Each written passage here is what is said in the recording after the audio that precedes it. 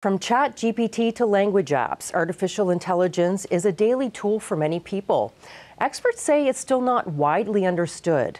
So, Google Canada and a leading research organization in Alberta want to change that. Google Canada is handing $5 million to the Alberta Machine Intelligence Institute, or AMii.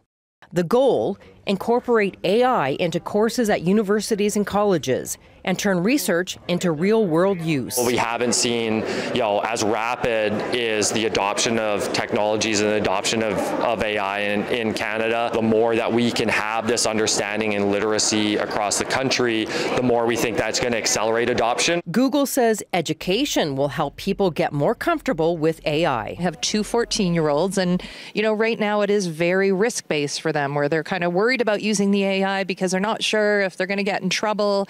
And and you know I have to work with them and be like you got to you got to use it for co-creation and understanding and brainstorming. It's not just companies thinking this. I, Evan Solomon, do swear that I will be faithful and bear true. Prime Minister Mark Carney sees it as the key to the future. He created Canada's first Ministry of Artificial Intelligence and Digital Innovation. MP Evan Solomon takes on that portfolio.